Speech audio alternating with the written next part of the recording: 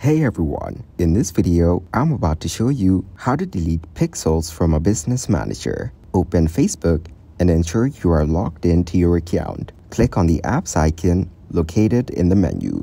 Scroll down and select Meta Business Suite. Once in Meta Business Suite, locate and click on the Settings option. Under the Profile section, click on the name of your store or business. Scroll down to find and click on Business Assets. Here, you will see a list of assets associated with your business. Locate the pixel you wish to delete. Click on the pixel you want to manage.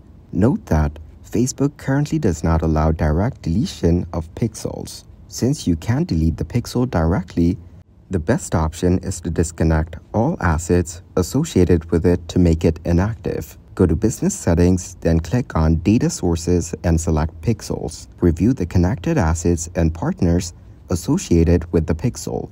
Disconnect all assets and partners. Open the pixel in Events Manager to update its settings. Ensure all configurations such as cookie usage and event setups are removed or turned off. Lastly, consider editing the pixel's name to indicate it's inactive or no longer in use for future reference. If this tutorial was helpful, please subscribe to our channel and like the video.